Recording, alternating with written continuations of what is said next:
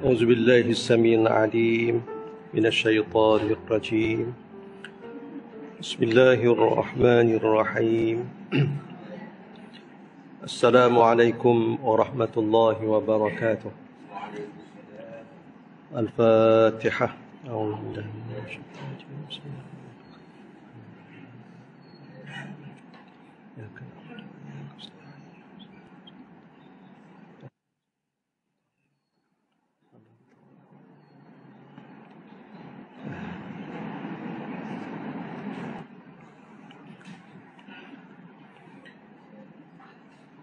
الحمد لله رب العالمين والصلاة والسلام على رسول الله الأمين وعلى آله وأصحابه أجمعين.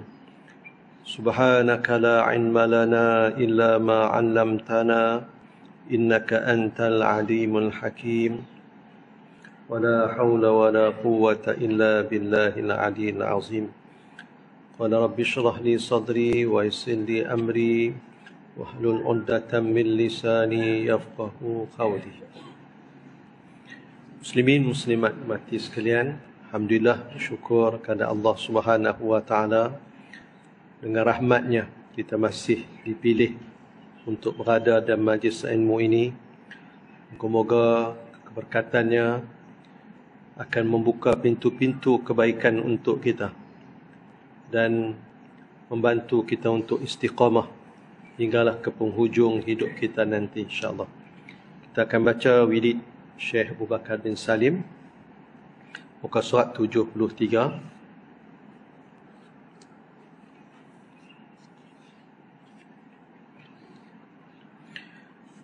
Bismillahirrahmanirrahim.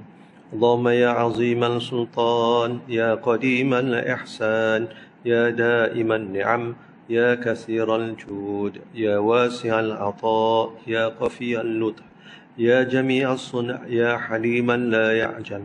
صل يا رب على سيدنا محمد وآله وسلم وارض عن الصحابة أجمعين. اللهم لك الحمد شكرا ولك المن فضلا وأنت ربنا حقا ونحن عبيدك رقا وأنت لم تزل لذلك أهلا. يا ميسر كل عسير ويا جابر كل كثير ويا صاحب كل فريد ويا مغني كل فقير ويا مقوي كل ضعيف ويا مأمن كل مخيف. يسر علينا كل عصير فتيسير العسير عليك يسير. اللهم يا من لا يحتاج إلى البيان والتفسير حاجاتنا كثير وأنت عالم بها وقبير اللهم إني أخاف منك وأخاف ممن يخاف منك وأخاف ممن لا يخاف منك. اللهم بحق من يخاف منك نجنا ممن لا يخاف منك.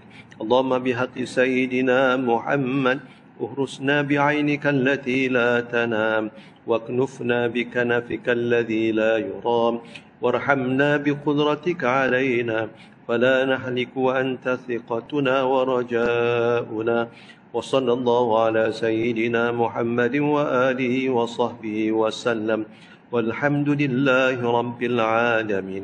عدد خلقه ورضا نفسه وزنة عرشه ومداد كلماته.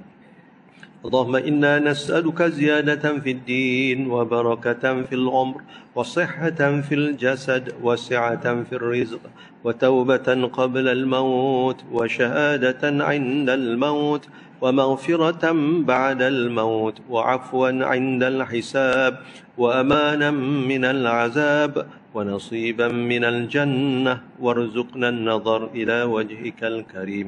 وصلى الله على سيدنا محمد وآله وصحبه وسلم. سبحان ربك رب العزة عما يصفون وسلام على المرسلين والحمد لله رب العالمين. عدد خلقه ورضا نفسه وزنة عرشه ومداد كلماته Muslimin Muslimat mati sekalian kita akan sambung Tafsir Nur Ihsan muka surat 290 299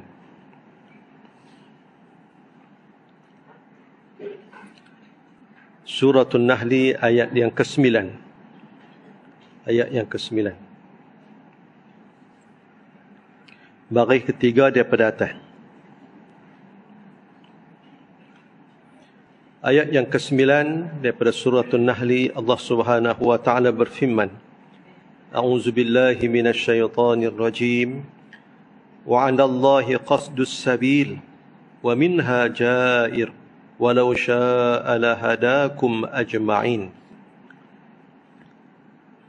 wa 'ala Allahi qasdus sabil. Dan atas Allah taala itu nyata dan terang akan jalan-jalan agama yang betul. Wa minha ha'ir. Dan setengah daripada jalan agama itu simpang kepada jalan kafir dengan tiada ketahui. Walau syaa'a hadakum ajma'in. Dan jika kendaki Allah nescaya hidayah akan kamu sekalian pada jalan agamanya maka kamu dapat hidayah kepadanya dengan pilihan daripada kamu daripada kamu muslimin muslimat mati sekalian Sebelum ni kita baca Allah Ta'ala sebut berkaitan dengan kejadian binatang. Yang binatang tu Allah jadikan hikmahnya antaranya Allah bagi untuk jadi uh, memenuhi keperluan kita. Kita boleh makan daging dia, boleh minum susu dia, kita boleh guna kudrat dia untuk bawa barang. Uh, duk cerita tentang binatang-binatang tiba-tiba ayat yang ke-9 ni Allah cerita pula tentang agama. Macam bercanggah je. Ha, ayat yang ke-9 dengan ayat-ayat sebelumnya. Ulama menyatakan tak ada bercanggahan sebenarnya. Kalaulah di dunia ni keperluan kita antaranya ialah makan minum yang kita boleh dapat dapat penuhi daripada binatang. Kenderaan untuk kita bergerak daripada satu tempat ke satu tempat dengan binatang. Maka dunia ni hak kita duduk ni adalah umpama perjalanan kita menuju ke akhirat. Kita perlukan juga keperluan dalam usaha kita untuk sampai ke akhirat. Apa kenderaan kita? Apa keperluan kita yang memudihkan kita mampu untuk sampai ke akhirat dengan selamat? Maka agama dah petunjuk Allah lah yang akan menjadi panduan dan kenderaan kita untuk sampai ke sana wa 'alallahi qasdus sabil Allah Ta'ala boleh untuk menentukan, menunjukkan jalan. Ada jalan qasdu ni makna dia niat, sederhana, macam-macam makna makna kepada qasdu ni. Baik, jalan yang baik, qasdu sabil. Allah Ta'ala yang menentukan seseorang tu duduk di atas jalan yang baik, yang ni dapat hidayah, wa minha ha'ir. Dan ada juga jalan yang yang mengelirukan, jalan yang tak membawa kepada kebaikan tak sampai untuk dapat mardhatillah. Ha, jadi ada dua jalan di dunia ni. Ada jalan yang baik, ada yang tak jalan tak baik. Ada malaikat, ada iblis. Ada manusia, ada yang disebut syaitan.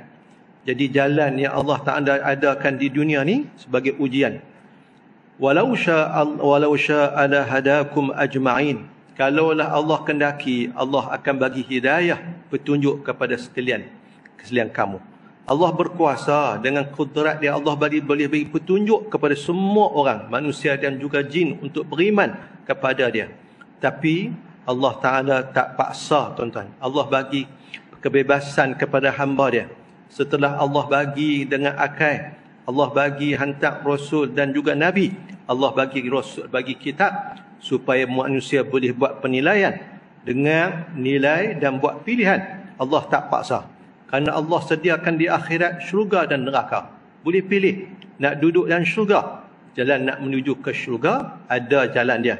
Nak menuju ke neraka, ada jalan dia juga. Pilihlah yang mana nak pilih. Hakikatnya menuju ke syurga, penuh dengan ujian, kesusahan. Bila Allah Ta'ala jadikan syurga, Allah suruh Jibril AS pergi tengok syurga. Jibril balik bagi laporan kepada Allah Ta'ala. Oh kalau macam ni semua akan masuk dalam syurga. Semua nak. Pasal hebat sungguh nikmat yang ada dalam syurga. Allah kata pergi tengok lagi sekali. Bila pergi tengok Jibril balik buat laporan. Hmm, tak ada siapa boleh masuk. Pasal apa? Jalan menuju ke syurga tak ada yang senang. Semua hak susah-susah. Payah menyebabkan manusia boleh tak boleh pilih jalan yang lain yang lain. Pasal ni jalan susah, ujian banyak, berat, menyakitkan. Bila Allah jadikan neraka pula, Allah suruh malaikat Jibril pergi tengok neraka. Pergi tengok Jibril kata, tak ada siapa yang akan masuk duduk dalam. Apa pun tak mau. Pasal dahsyat sungguh. Pergi tengok kali kedua, Jibril pun pergi tengok, tengok-tengok tu dia. Allah hias. Allah bagi jalan menuju ke neraka ni, semua hak mengasyikkan, menyeronokkan. Jibril balik bagi laporan kepada Allah Ta'ala, ramailah yang akan jadi penghuni neraka kalau macam tu punya keadaan. Jadi Allah bagi pilihan kepada kita. Wahadainahun najdain. Kami bagi petunjuk kepada manusia dengan dua jalan. Jalan baik diikuti, jalan yang buruk ditinggalkan. Wa inna hadha sirati mustaqimah fattabi'u. Allah kata, ni jalanku yang lurus ni, maka ikutlah. Jangan ikut jalan-jalan yang lain.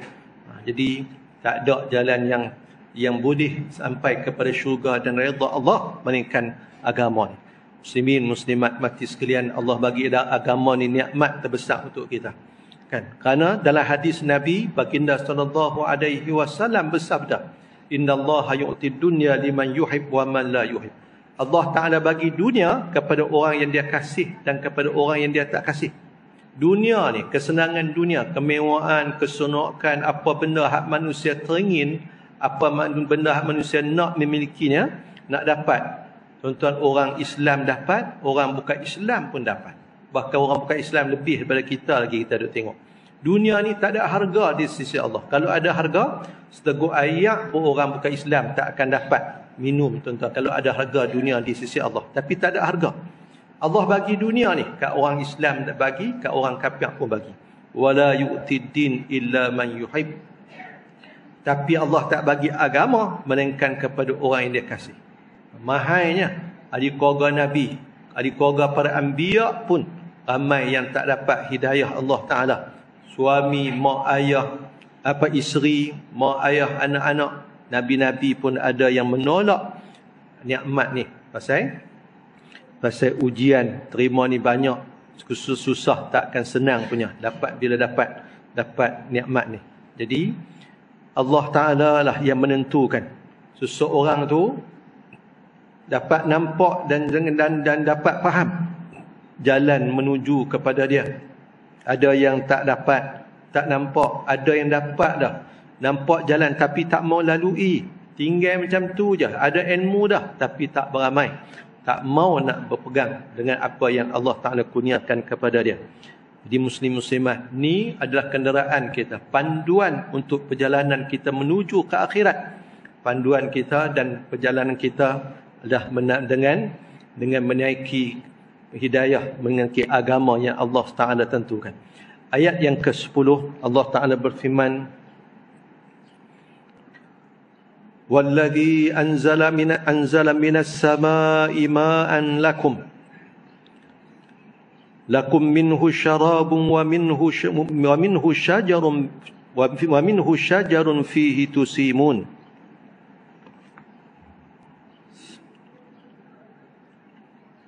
والذي أنزل من السماء ماء لكم منه شراب ومنه شجر ومنه شجر فيه تسيمون. Dialah Allah Ta'ala Dialah Allah Ta'ala itu Tuhan Yang menurun daripada langit itu air hujan Bagi kamu Setengah daripadanya kamu minum Dan setengah daripadanya kamu tumbuh padanya Setengah daripadanya kayu Kayu tumbuh padanya kamu pelihara binatang-binatang kamu. Allah Ta'ala juga menyebut kekuasaan dia. Iaitu, dialah yang menurunkan ayat hujan daripada langit. Allah turunkan ayat hujan daripada langit. Sebagai untuk kita fikir tentang kekuasaan Allah Ta'ala. Kita duduk baca surah Al-Waqi'ah. Kan? Saya yakin muslim-muslimat tiap-tiap hari baca surah Al-Waqi'ah. Kan? Paling kurang sehari semalam. Ada yang baca lepas asar, ada yang baca malam lepas, lepas isyak. Ha. Kita dah sebut uh, kaedah meramai surah waqi'ah sebelum ni. Macam-macam. 14 kali lepas asar. Ada yang rajin baca tiap kali lepas. Daripada semayang dia baca sekali surah waqi'ah. Ha. Ada yang Tok Kiai di Nusianu dia pesan. Siapa-siapa nak kaya. Kaya sungguh ni bukan main-main. Baca dah uh, 40 hari surah waqi'ah 40 hari tu banyak mana baca? Sehari 40 kali. oh, kaya semua. Saya ingat tu Haji Mak Baki. Tu Haji Baki dah ada lagi. Tuan tunggu Haji Mak Baki ni jumpa yang kau. Dia jumpa yang kau mimpi yang kau. Tengok ada Tok Syekh tunjuk kat dia ayat bawah bumi muka, muka bumi ni ada macam laut. Kita tahu saya dulu masa saya duduk kau dia main ceramah ni. Pengurus tu cikgu. Pengurus ayat kau cikgu. Cikgu tu abang saya dia kata Tok Guru nak bagi kat dia amalan untuk jadi jutawan. Oh, clear saya kata. Nanti cikgu bagi kat dia sama. Syarat dia macam mana? Tok Guru kata apa? Tok Guru kata bagi cukup dulu dia punya apa yang orang panggil apa pengerah dia ataupun bahan dia tu syarat dia kena ada duit satu juta dulu kata cikgu dapat ada satu juta jutawan dah ada kalau apa lagi dah kan jutawan dah lah betul ya no? Kalau dah ada sejuta kan jutawan dah kalau dia dia tak perasan tok guru abang tu abang kata ada sejuta ha Oh dia nak tolong buat. ada sejuta kan jutawan dah. Dah, dah kalut dah. Eh? Ayat. Tuan-tuan Allah turunkan daripada daripada langit tu. Masya Allah. Allah Ta'ala sebut dalam surah Waqi'ah. Tuan-tuan saya pernah kongsi baca surah Waqi'ah ni. Muka ketiga surah Waqi'ah. Mula daripada afara'aitum ma afara'aitum ma tumnun sampailah ayat yang cerita afara'aitumun nar allati turun? Antum takhluqunahu antum antum antum ansha'tum syajarata am nahnul munsyi'un nahnu ja'alnaha tazkiratan wa mata'an lil muqwin. Ayat ni ni Sayyidina Ali kata siapa nak kaya dia baca ayat ni dengan satu kaedah. Bila baca afara'aitum ma tah afara'aitum ma tumnun? Apakah kamu yang menjadikan? Allah tanya kita kena jawab. Hak jawab ni payah ni? Dia kita akan kita lupa afara'aitum ma tumnun? Apakah kamu yang yang bagi jadi? Ni jadikan manusia ni bagi jadi mani ni? Tuan-tuan kita kena jawab. Bal anta ya rabbi kaulah yang menjadikannya ya Allah. Ataupun kita kata dalam bahasa Melayu bahkan kaulah yang menjadikannya ya Allah. Allah tanya afara'aitum ma tumnun? Kita kita jawab bahkan engkaulah yang menjadikannya Allah. Bila baca ayat afara'aitum ma tahrusun? Allah tanya adakah kamu yang menumbuhkan tumbuhan tu? Kita jawab bal anta ya rab. Bahkan engkaulah ya Allah yang menumbuhkan. Bila baca ayat afara'aitumul ma alladhi tashrabun? Apakah kamu tidak tengok ayat yang kamu minum tu? Ha, kita kita jawab bahkan kami tengok ya Allah antum ansha'tum syaja antum antum anzaltumuhu minal muzni am nahnu munzilun Allah tanya adakah kamu yang yang menurunkan ayat tu di langit? Kita kata engkaulah yang menurunkan ya Allah. Allah tanya jawab kata Sayyidina Ali. Insya-Allah murah rezeki kata Sayyidina Ali. Ha, sampai tang tang api ayat yang last tu yang Allah tanya berkaitan dengan api. Jadi ayat ni Allah sebut kata dia turunkan hujan, turun ayat hujan daripada langit sebagai penapis. Tuan-tuan, ayat yang naik ke langit nak jadi nak turun jadi ayat hujan, Allah ambil sedut daripada laut, daripada ayat sungai, tasik dan sebagainya. Kalau ayat tasik, ayat sungai apa semua hak yang yang tak masin tak apalah. Ayat laut masin. Maka awan tu jadi penapis dia. Ha, jadi penapis, turun main tak masin. Allah Taala suruh kita tengok hujan yang kita turunkan hujan tu, yang turunkan ayat hujan, Allah suruh tengok dalam surah Waqiah afara'aitumul ma alladhi tashrabun? A antum anzaltumuhu minal muzni am nahnul munzilun? Law nasha'u ja'alnahu ujajan falawla tashkurun. Kalaulah kami kami kenaki kata Allah kami turunkan ayat hujan tu ujaja dalam keadaan masin. Nak jadi apa? Kalau turun ayat hujan masin kan ha, tapi bagaimana kekuasaan Allah ayat yang naik daripada daripada laut Ayat masin. Kan, wak masin tu. Tapi turun tak masin. Hujan yang turun. Turun tu hak Allah Ta'ala nak tentukan di mana dan banyak mana. Bila turun tu hak Allah Ta'ala. Inna allaha indahu ilmu sa'ah wa yunazzilul ghais. Allah Ta'ala saja yang tahu bila nak turun dan di mana turun hujan. Tuan-tuan. Jadi, hujan ni rahmat Allah Subhanahu Wa Ta'ala. Jangan duk kata apa kat hujan. Kan ada orang marah hujan. Hujan pula dah. Masa hujan mesti hujan. Pasal apa? Dia jemuk baju tak ada kering ni. Hak duk meniaga ikan kering pun. kan? Tak ada nak kering ikan. Oh, hujan pula dah habis. Ha, ni mesti ayam bah ayam besar. Eh. Orang tendawat ayam duk naik. Ha, depa duk hantar. Jenuh kita. kan? Ha, duk naik. Dia musim memang musim dia lah. Kalau waktu ni hujan lebat, tengah apa ni ayam pasang besar, lepas tu hujan pula dulu ni sebelum titi palang kakak siap tu. Rumah tu Imam Ustaz Abbas tu kena pertama ni. Pasal apa nak pi ayam nak turun tak boleh pi pasal sangkut repa tang depan sungai depan apa masjid palang kakak. Lepas tu ayam nak turun pi ke laut tak boleh nak pi pasal apa? Ayam laut duduk tinggi. Tak boleh pi mana? Banjir. Ha, apa ni? Jadi ayam naik habis masuk dalam rumah orang apa semua. Dulu kampung rumah. Alhamdulillah lah kerajaan buat kerajaan negeri buat buat apa tembok penghalang penghalang tu. Tidak kaya Allah kita duduk pi tengok rumah jadi kolam. Ha, ada tuan rumah tu mati. Alhamdulillah sebelum dia mati dia sempat tengok projek tu siap. Kan macam-macam ni. Kan macam-macam jadi. Allah Taala yang tentukan turun di mana banyak mana turun. Kadang-kadang dia turun. Oh, kita duk tengok Mekah, Madinah kadang-kadang turun dengan dengan hujan batu. Tu dia kereta habis, pecah cermin, kemik apa semua. Ha. Orang kata hujan kalau turun hujan batu tu ambil telan. Apa kata jadi ubat? Allah alam. Terang nak boleh itu benjoy kepala lu. ha. Hujan banjir kan baru ni orang pi buat umrah apa semua. Umrah 4 bulan itu tutup dah. Orang keluar tak boleh dah. Ha. Pasal tadi sembang Ustaz Zuki pun dia kata anak dia pi dan masuklah. Ha. 5 bulan tu tak boleh masuk dah buat umrah. Mana ha, ada aja. Pasal apa? Persiapan untuk haji. Nak pi sampai sana jalan ni dia belok roblok sungguh-sungguh dia pecek sungguh-sungguh. Ha. Kan baru ni ada kejadian dalam seminggu dua ni lah dalam masjid Nabi kan ada telaga. Kan bi'ru bi'ru haq. Telaga haq. Telaga ni duk buah kapet depa tutup. Buah elok. Kalau orang tahu mau tahu yang tahu depa akan pergi selak tunjuk. Boleh dia tengok dia halau lah. Tapi telaga tu zaman Nabi dulu milik Sayyidina Abu Talha. Telaga tu Nabi suka minum air dia. Antara air yang terbaik.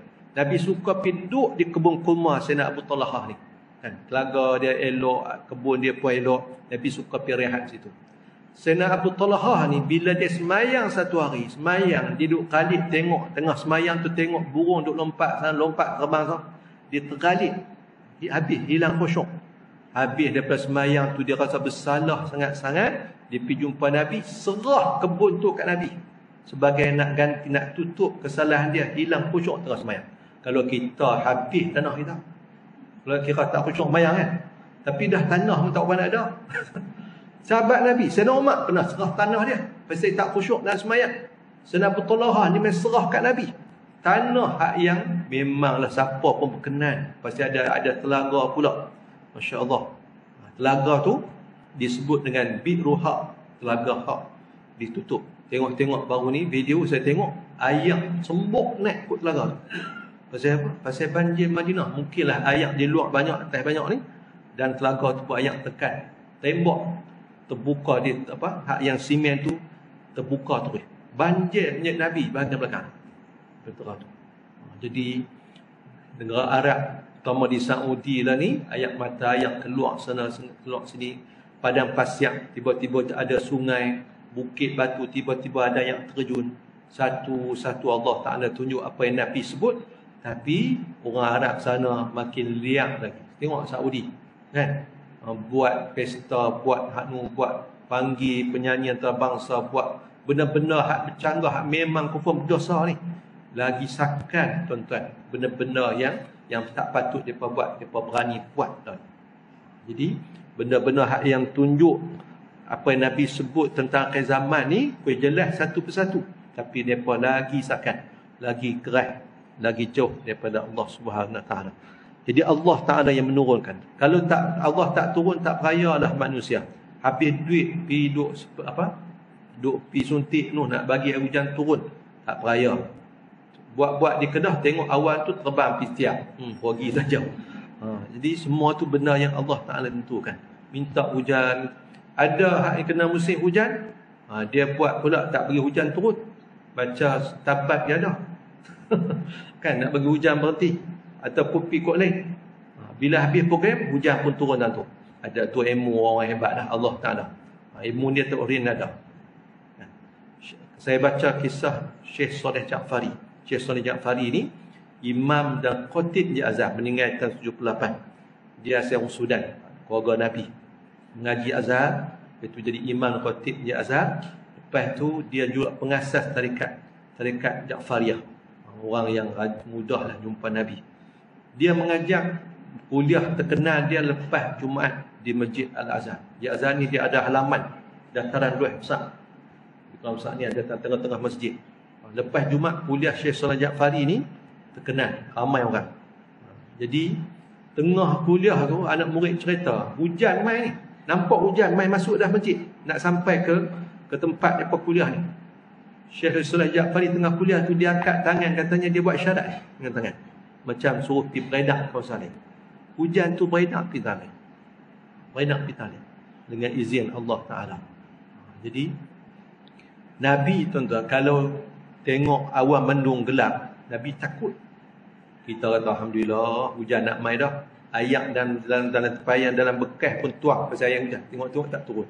Dulu ni, umat dulu kena seksa antaranya dengan main mendung hujan main mendung gelap tu tu yang nabi takut kita buat ayat ni benda yang yang serius kemarin pun ada demo buat demonstrasi di Sadar orang taman lemah mabuk pergi buat demonstrasi ayat nak nak kami nak nak ayat dalam paip nak buat macam mana kan ni kemarau ni nak cari mana ayat bukan kita boleh buat ha, tak payah nak nak kata nak jawab pun payah ha, jadi hujan turun. Kita semayang, kita semayang semayang tisraq itu di di Taran ni. Ha. Kira apa? Kita buat ringkas tu sebenarnya. Lepas tu hujan. Hujan saklah, hujan duk tiga hujan. Tapi hujan yang turun ni tak cukup. Tak cukup nak tampung ataupun nak bagi ada ayat balik. Hujan kok bawah pula kan dia hujan ni nak kena boleh dapat mendapat hujan di bukit baru dia masuk empangan ataupun masuk ke loji. Hujan ke bawah bukit tak hujan tak payah. Ha. Saya tadi kuliah subuh di Masjid Kuning saya pesan. Saya kata siapa ada duit, ada kawasan rumah, rumah ada kawasan, buat dah telaga. Korek telaga ataupun telaga tiup. Korek. Walaupun tak guna terang mana kalau ada yang baik pun. Contoh orang lain, orang bangsa lain ni duduk negara kita ni dia buat telaga. Dia tak kampuh. Telaga tu dalam rumah kekal. Tu tak cerita benda-benda senjata ke apa. Kita orang Melayu kita bila ada ayat baik dia kampuh habis telaga. Tak beringat. Ha, tak beringat. Jangan. Bila korek telaga, pusat khidmat Tendawan korek 29 telaga tiup. 29 ni, ada yang boleh guna, ada yang tak boleh guna. Ada, tak boleh guna tu pasal berkelai pun. ha, macam-macam. Boleh guna, guna sungguh. Siang malam orang nak ambil ni. Saya sebut tadi, siapa yang buat telaga, buat telaga. Macam gunalah kaedah macam mana guna buah nyok kali besi ke apa orang duk cari mata ayak tu kita nak ada ilmu macam yang saya sebut ada ilmu K Zainal Qafi Nusia yang main main sekolah tu. Dia ni mata dia boleh tengok lalu ayat dan tanah. Ha, tak korek pelaga tadi dia kata. Dia tengok tu dia nampak. Allah Taala bagi kat dia. Tuan-tuan, korek telaga. Masjid Bushra pun saya pesan dia buat kedak dah bila korek telaga yang kedua dua telaga 70 ribu. Saya kata ambil air zam-zam ambil air zam-zam tuang dalam telaga. Ha, niat minta ke Allah Ta'ala biar ayat telaga kita buat ni tak putih seperti mana ayat ayat telaga zam-zam tak putih. Ayat dia elok macam ayat zam-zam. Bacalah doa tak tahu nak baca doa apa baca doa ayat zam-zam. Allahumma inni as'aluka ilman nafi'a wa rizqan wasi'a wa shifaan kidah tuak kan? Doa minta. Jadi macam ayat zam ayat, ayat telaga telaga zam-zam. Tak putih-putih. Daripada dulu sampai sekarang. Baik ayat jadi sedap. Niat itu. Tuan-tuan. Ha, jadi kita ketiaklah, ketiak. Ke depan kita tak tahu tuan-tuan nak jadi. Ayat kalau ikut Nahrim, Nahrim ni agensi ayat negara. Bila kita duk buat telaga tu banyak tempat dia pemain check. Datuk Perintah mai masa tu menteri dia arah suruh mai check tengok. Mai mai tengok tolong untuk apa yang patut. Nahrim keluar kenyataan tahun lepas kata silap saya uh, dunia ni akan menghadapi krisis hayat mulai tahun depan 2025 sampai 2035 kalau silap yang kritikal sampai kekurangan tu sampai 35% boleh bayang 35% Hujan kurang, air sungai pun kurang apa semua. Ha, sungai Tupa tengok je parit. Itu ni bulan lepas sungai Bukit Selambau. Hak kita nak ambil air Mai Tenawan ni. Pam tu terangkat dah. Air pun surut. Ha, kita tak tahu ke depan ni, ni macam mana. Air Allah Taala turun tu tujuan apa? Lakum minhu syarab. Dia jadi air minuman untuk kamu. Kita bila kita kita air kita perlu Ayat badan kita ni tuan-tuan majoriti 78% dah tak sihat. Ayat. Bumi ni tuan-tuan 78% ayat. Sama dalam badan kita 78% ayat. Walaupun kita nampak isi, nampak darah. Tapi sebenarnya ayat. Muka bumi ni pun antara darat dengan ayat. Darat kurang berbanding dengan ayat. Allah Ta'ala bagi jadi seimbangnya tu. Jadi, kita perlu ayat. Ayat ni keperluan keperluan orang sanggup perang nu Mesir dengan Ethiopia tu tak tahu ke depan nak jadi macam mana. Boleh tahan sabar macam mana? Pasal pasal hulu hulu sungai sungai ni ni duduk di di Ethiopia ke apa? Ethiopia ni buat empangan ayam sampai sungai ni kui kui kurang kui kurang kui kurang ha yang dia nak perang saja. Dunia akhir zaman nak perang dia. Ha, jadi benda ni benda yang penting. Ha, kalau kita nak minum ayam tadi saya sebut siapa-siapa nak minum ayam Ayat ni kalau kita nak buat ayat penawak boleh cuba apa yang K. Muhammad Zaini Amqani sekumpul. Untuk Ali Besar Indonesia dulu sebut bila kita nak minum ayat biasa ataupun kita niat nak buat ayat rawatan kita baca nawaitu shifa'a bi barakatil mustafa. Aku niat sembuh niat sebagai sembuh dengan berkat Nabi Al-Mustafa yakni Nabi Muhammad sallallahu alaihi wasallam. Kita nak buat minuman biasa ke ataupun minum ayam penawak ke ayam tu kita kita niat kita kita sebut nawaitu syifa. Kita sebut aku niat mu ni jadi penawak dengan berkat Nabi sallallahu alaihi wasallam. Insyaallah ayam tu jadi penawak. Ayam kan hidup. Kan ayam ni hidup. Kan kita duk duk baca orang bu, orang bukan Islam buat kajian. Senti buat kajian. Ayam dia kata ada molekul dia. Kalau disebut benar hello baik-baik ayat meniku ayat tu jadi elok. Dan dia akan membantu jadi ayat yang bermanfaat bila diminum. Tapi bila ayat tu dimaki, ayat tu dikata dengan sebutan yang tak elok, meniku ayat tu berubah bila diminum boleh bawa penyakit. Ayat Zam-Zam diakui sebagai ayat terbaik. Ha. Tok guru kita kata, tu cerita ayat kita minum. Ni ayat hak duduk dalam mulut kita, ayat dia kita ni.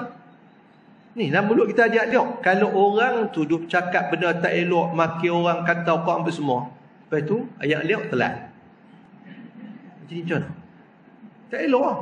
Kalau ayat di luar ni kita kata tak boleh maki dia, tak boleh sebut benda tak elok. Sehari kalau kita minum bawa kesan kat perangai kita, pengekat diri kita.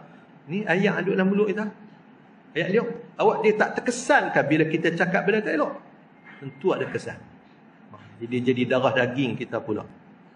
Jadi Habib Umar dan saya juga pernah baca isteri kepada Habib Umar ulama terkenal Yaman. Bila nak minum air ni kita habaq kat air tu. Ataupun terutama kalau nak buat air penawar kita sebut kat air tu ayat zam-zam kain salam kat hang. Ma'un zam-zam yukulikas salam. Ayat zam-zam kain salam kat hang. Ayat tu hidup. Hak kita nak hak kita nak minum tu ayat tu hidup. Dia dengar ayat zam ayat zam-zam ni kira ketua dia lah. Ha, ketua dia kan salah. Nak bagi ayat tu jadi ayat penawak ataupun ayat yang bermanfaat untuk kita. Muslim. Jadi Allah turunkan ayat hujan tu daripada langit untuk jadi minuman kita. Ha, jadi lepas ni kalau hujan turun, kuih turun dah ni, tak ada ayat tengah-tengah kat padang ataupun kat halaman rumah kita. Jangan bagi bukan bawah cucuk atap ha, bagi turun masuk dalam bekas dan besen tu simpan ha, bila lapang baca surah fatihah 70 kali ayat kursi 70 kali qul wallah 70 kali qul a'udzu falaq 70 kali qul a'udzu binnas 70 kali. Ni kira banyak lah hak ingkar-ingkar pada. Tapi saya bagi hak hak teruk-teruk lah sikit senang kan? Bagi lebih berkesan kan? Hak ni tok guru banyak pegang. Terutama malam Jumaat. Ayat terutama malam cuma kalau Pak Sumit dulu dia kata malam yang penting untuk dibagi perhatian kalau tu berkaitan dengan turun ayat hujan ni malam ayat malam satu Muharram. Ha. Kalau tak ada ayat satu Muharram ayat malam satu Muharram ayat malam Jumat kalau ayat malam hujan Jumat tu tunggu tak hujan-hujan tak turun Ayat malam lain pun tak apa. Tapi tak ada yang turun terus masuk dalam bekas. Bekas kita tak ada tu. Lepas tu ayat tu kita baca. 70 kali Fatihah, 70 kali ayat kursi, 70 kali kul. Tiga kul tu, 70, 70, 70. InsyaAllah simpan jadi ayat penawak untuk kita dan keluarga kita. InsyaAllah.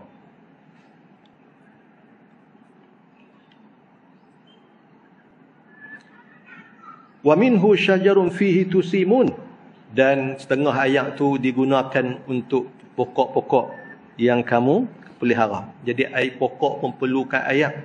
Tak ada ayat dia pun mampu.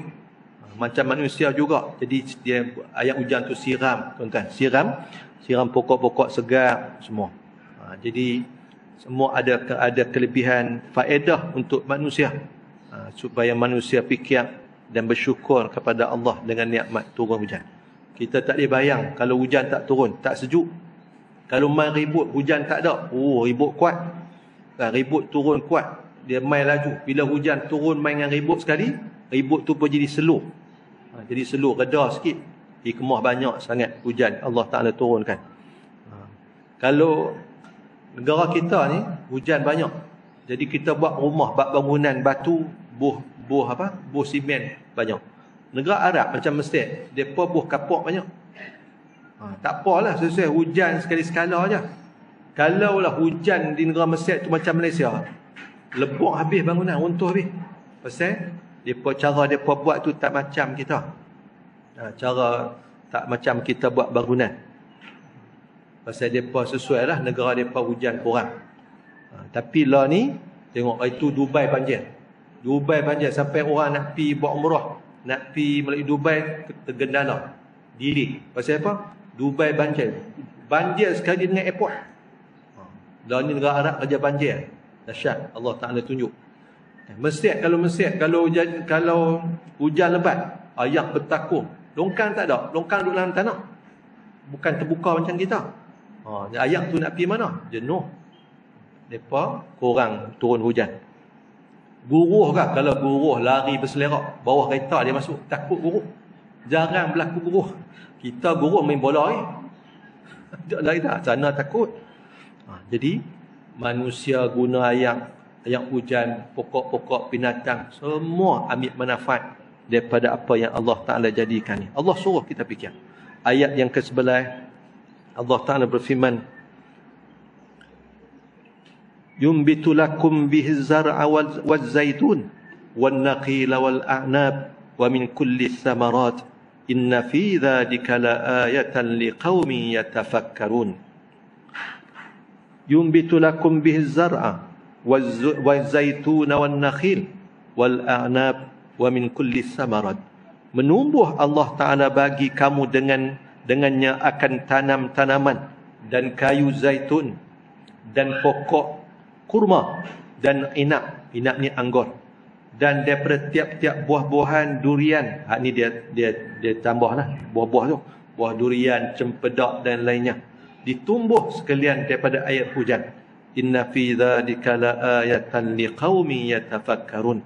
Bahawa pada dia demikian itu yang tersebut itu berapa alamat atas wahdaniyatullah bagi kaum yang berfikir mereka itu pada kejadian itu ada yang menjadinya yang amat kuasa maka beriman mereka itu.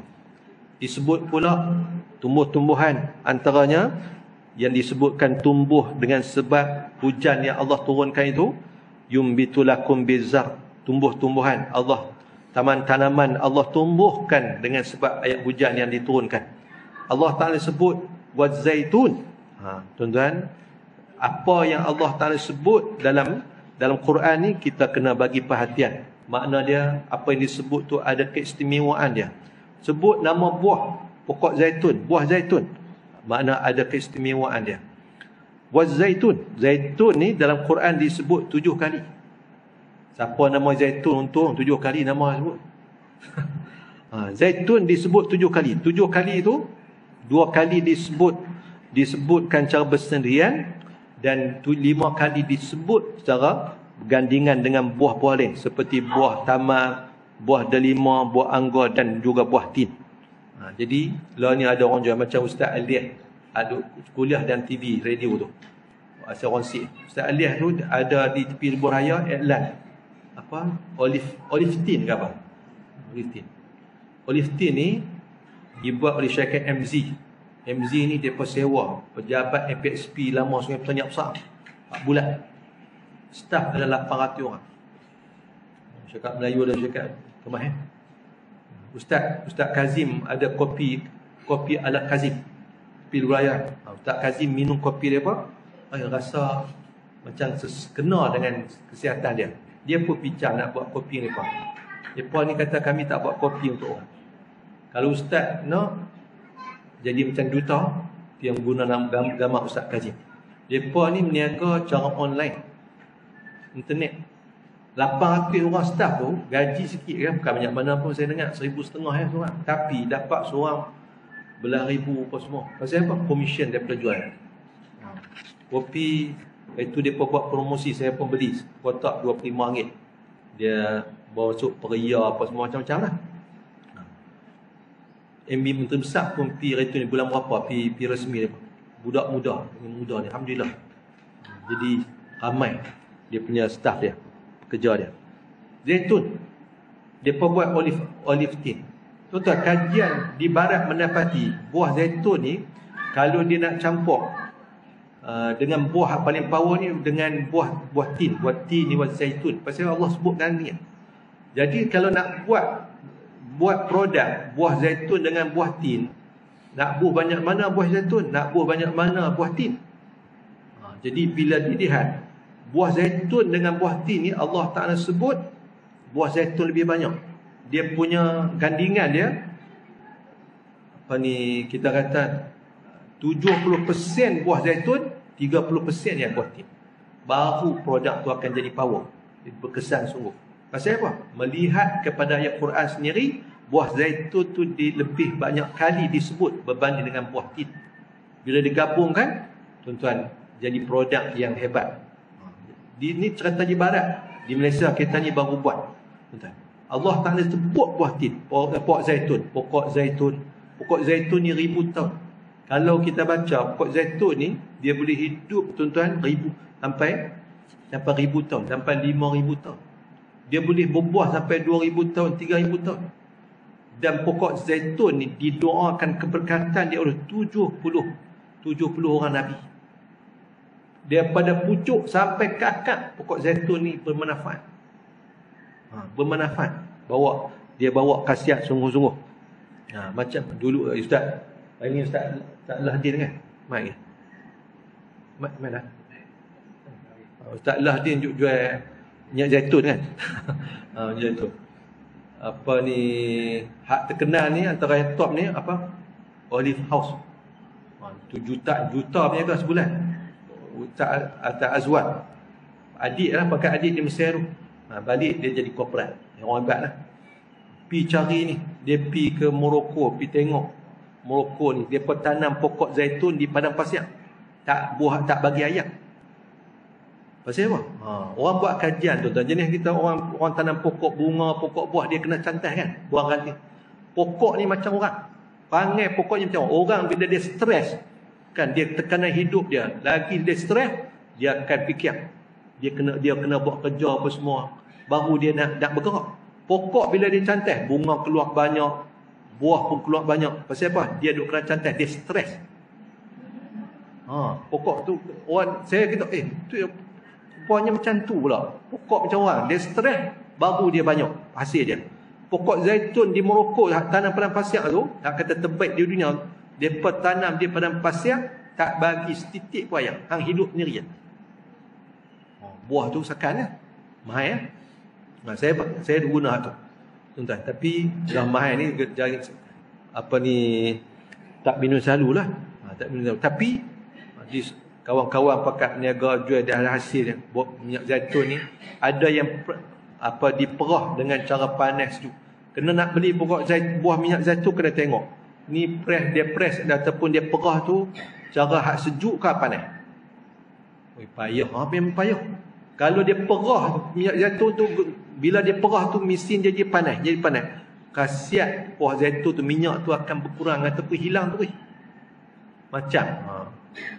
Cerita bab perah-perah pula ni.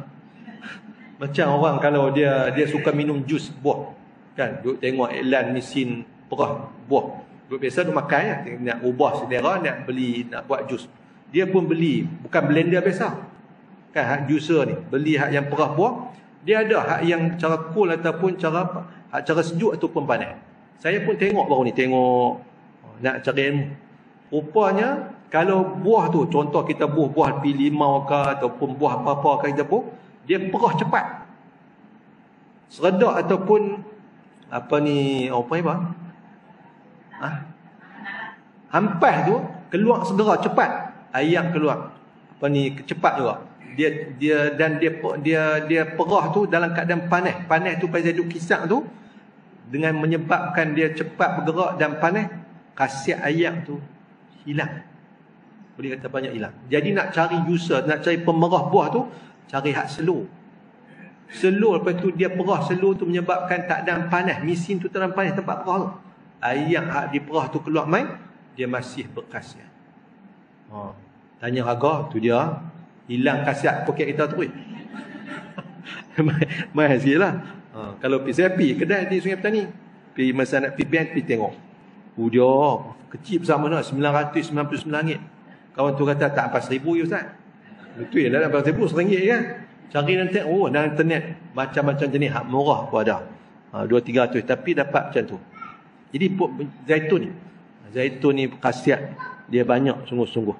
Orang yang tak mau rambut dia, saya pasal jenis tak beramai. Ha, saya kuliah di Masjid Kota Damansar dulu, kota ni kuliah bulanan baca kitab Syama'in. Cerita dalam kitab tu cerita Nabi makan buah zaitun apa semua. Dan buah zaitun ni dia pelembab kulit. Anak saya hak yang nombor lima hak yang OKU tu. Kulit. Lah ni rumah dia kena lap darah. Musim ni panas kan. Merekah kulit keping-keping. Nampak atas atas tikam tu macam salji. Ha, musim dia, musim dia. Darah. Dia dia garu berdarah apa semua. Baju tak pakai. Umur 16 dah. Anak darah lah. Baju tak mau pakai. Nak pakai badan keping dengan dengan apa dengan kulit dengan merekah apa semua. Antara pelembab kulit dia dulu duk pakai minyak zaitun kau. Lah ni buah minyak kelapa darah. Ni kelapa darah murah lagi lah. Kan nak pergi pelembab hak lain tak dipakai hak klinik apa semua tak dipakai kadang-kadang pambuh kulit jadi nipis. Sentuh sikit maka lah susah. Ha, jadi minyak zaitun ni pelembab Orang buh minyak zaitun buat jadi minyak rambut. Rambut dia tak berubah. Saya lepas kuliah tu, cerita banyak tahun dulu. Seorang tu, dia orang Indonesia tapi jadi rakyat kita dah. Kahwin orang, orang Malaysia. Dia buka kupiah dah. Ustaz tengok. Saya apa saya kata? Dia kata ni lah. Hasil saya pakai minyak minyak rambut. Minyak zaitun. Dia tua daripada saya. Tapi rambut sorat pun tak ada. Tak nampak. Tak nampak uban di kepala. Janggut pun tak ada ubat. Pasal apa? Dia kata dia pakai minyak minyak rambut zaitun. Ha, minyak zaitun. Kelebihan dia banyak lah. Ha, kalau ada tu, kalau anak kita pergi duduk asrama, pipi dulu pi rambut elok balik-balik tengok-tengok buat balik dengan kutu jadi peternak kutu pula. Biasa duduk asrama kan anak-anak saya duduk balik jadi peternak. Allah kutu.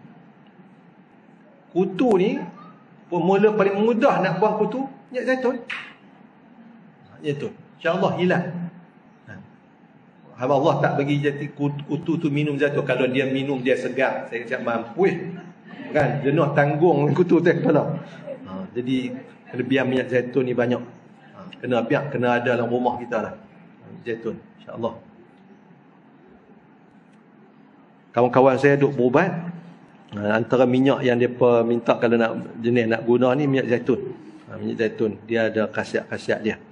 Ha, kelebihan-kelebihannya insya-Allah ayat ni minggu depan kita akan sambung ayat sebelah berkaitan dengan tumbuh-tumbuhan buah-buah yang Allah Taala bagi jadi semuanya ada kebaikan yang hebat. Cuma ni kita lah nak guna ataupun tidak, yakin ataupun tidak. Dunia barat dan ni pun memang guna sungguh-sungguh dan zaitun terbaik ni duduk ke belah Syam, Palestin, Jordan semua tu terbaik lah. Di Itali, Itali pun banyak. Dunia pun pakai zaitun. Tuan-tuan perasan kalau tengok Pertuan Bangsa satu agensi dia, hak gambar burung pati, bak keamanan. Burung pati tu, gambar burung pati, di mulut, di paruh burung pati tu ada ranting daun. Ranting daun tu pokok zaitun, ranting daun zaitun.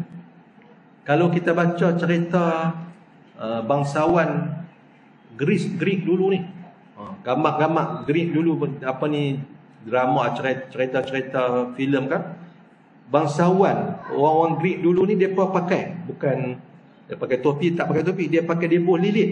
Lilit di di kepala ni macam daun.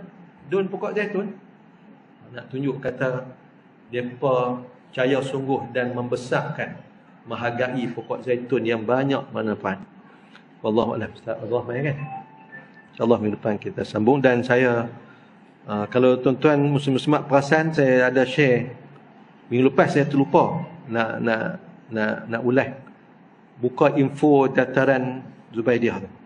Ada saya share tiga tiga amalan dalam dua minggu ni.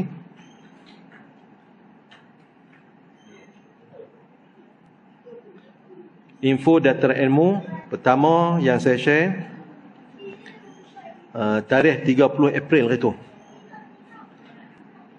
Uh, selepas solat sunat subuh Sebelum tu saya ada share suruh apa ni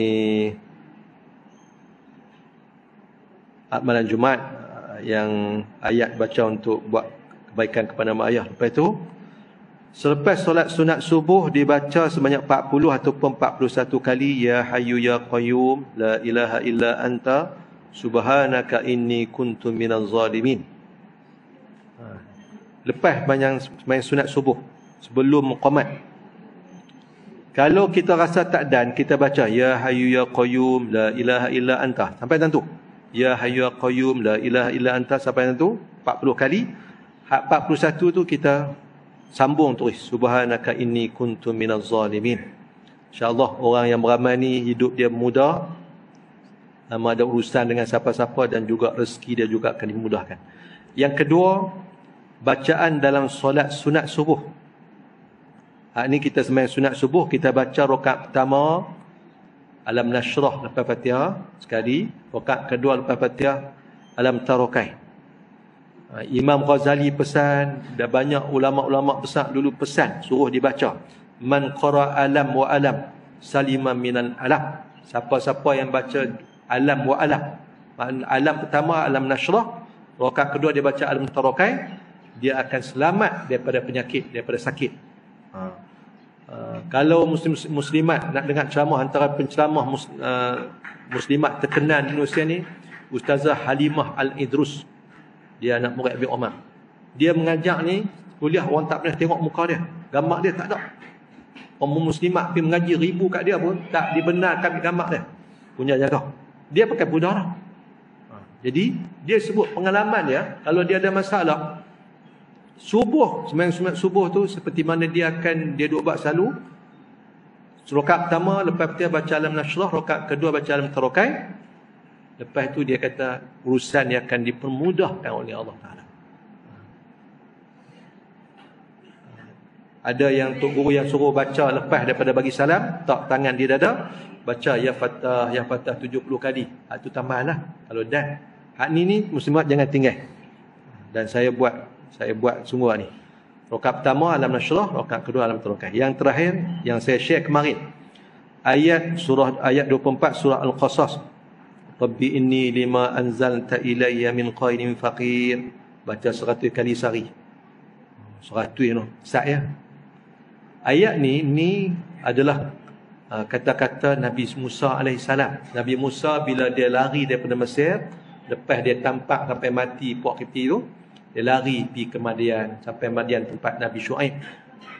Lepas tu bila dia tak dia tak tahu nak nak pergi mana, nak buat apa tak tahu dia tengok anak dara dua orang anak dara Nabi Shu'aib duduk tunggu. Dia pun pergi tanya.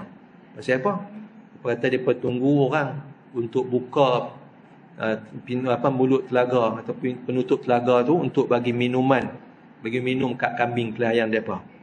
Jadi pintu pintu telaga tu penutup tu nak kena angkat ramai orang baru boleh angkat jadi petunggu orang lelaki ramai tak ramai lagi Nabi Musa angkat seorang dia ya. Bagi minum balik. Lepas tu Nabi Musa mai duduk bawah pokok. Nabi Musa mengadu ke Allah. Antaranya ayat 24 ni. Rabbi inni lima anzalta ilayya min khayrin fakhir. Tok tok guru. Ha, tok guru kata cerok ni pesan suruh baca. Dulu saya baca 70 kali. Lepas tu saya dengar ceramah anak kepada uh, wali kutub yang diakui kewalian wali kutub dia, kewalian dia Habib Abu Bakar bin Muhammad Sahwas. Hebat ni ulama ni di Indonesia. Dia habaq siapa yang hadir mayang jenazah dia takkan kena azab neraka. Ada seorang lelaki pergi ke market beli kambing, dia tanya apa ramai sangat ni? Apa ni? Orang tu penjual kambing lagi kami kata tak tahu kah? Ini ni ni ni Habib Abu Bakar meninggal dan nak ke bumi lagi. Dia beli daging kami tu, dia tak balik terus dia pi. Pi ke masjid nak semayang. Semayang dia bawa daging kambing tu sekali. Balik masak.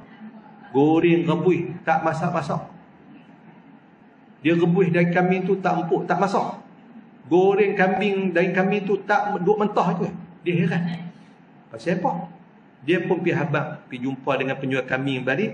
Dia kata, hang ni jual kambing kami apa ni? Aku masak, tak boleh tak boleh masak. Mentah. Dia kata, hang lepas beli barin, macam mana? Ha, dia kata, aku pergi semayang lah. Tuan-tuan, bila cerita ni sampai kepada anak-anak murid Habib Abu Bakar, dia kata, Masya Allah, Habib Abu Bakar pernah sebut siapa-siapa main semayang jenazah aku, dia tak akan kena api neraka. Api dunia pun tak dia apa. Daging hak dia bawa pergi semayang sekali pun kena api tak jadi apa. Ha, betul. Jadi saya dengar selama anak kepada Habib Abu Bakar ni kata ayah dia pernah sebut baca sehari seratus kali.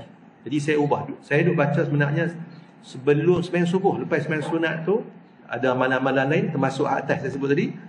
Ayah, ayah ni saya baca.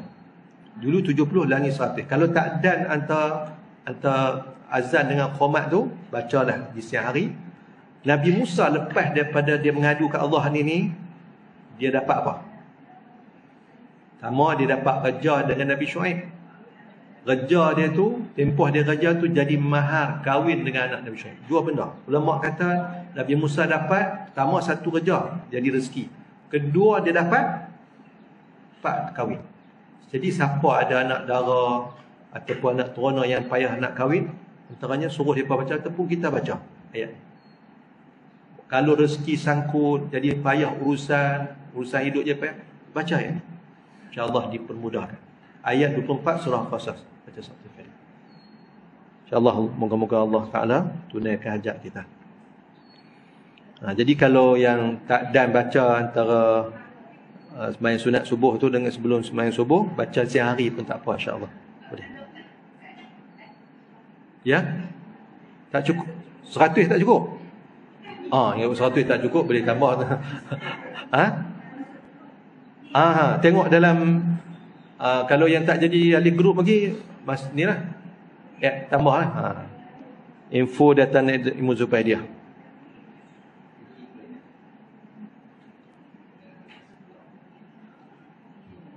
Wallahu a'lam.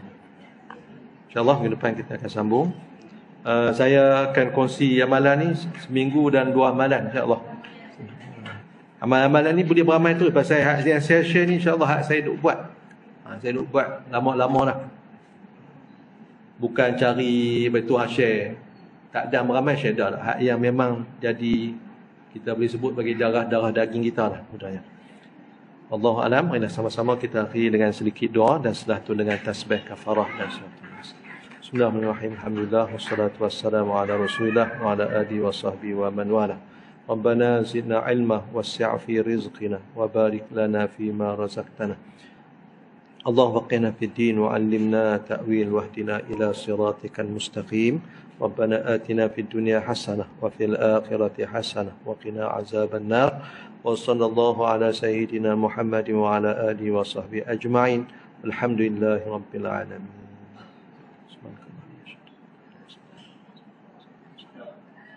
Allahu alam. Assalamualaikum warahmatullahi wabarakatuh. Amalan tu nak bagi ke anak-anak, bagilah. Tak dia adik bagi. Tak ada salah.